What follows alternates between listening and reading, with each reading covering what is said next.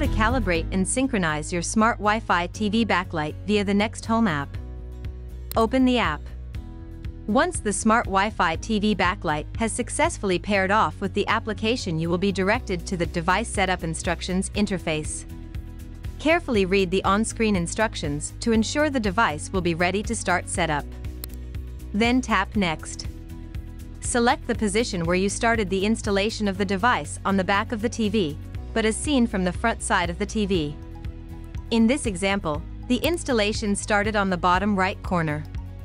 Tap Next. Now confirm whether the light strip was mounted following a clockwise or counterclockwise direction, also relative to the front side of the TV. Tap Next. You will now see the oval shape of the TV as seen from the camera's perspective. Tap the 8 anchors or reference points on the image to confirm them one by one and add them to the calibration guide, as indicated below. When you're done, tap Next Step. If you need to modify any anchor point you can touch it to delete it. Go to the next step. On the screen position calibration interface, you will see an image of the TV screen from the camera viewpoint.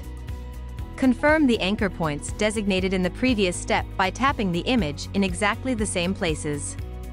Once the 8 anchor points have been confirmed, tap Next.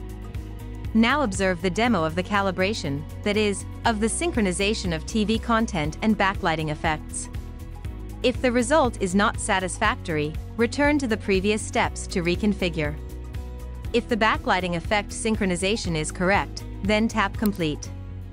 Now, with calibration and syncing complete, you can start customizing other functions and features of your smart Wi-Fi TV backlight. With this, you have learned how to calibrate and synchronize your smart Wi-Fi TV backlight via the Nexxt Home app.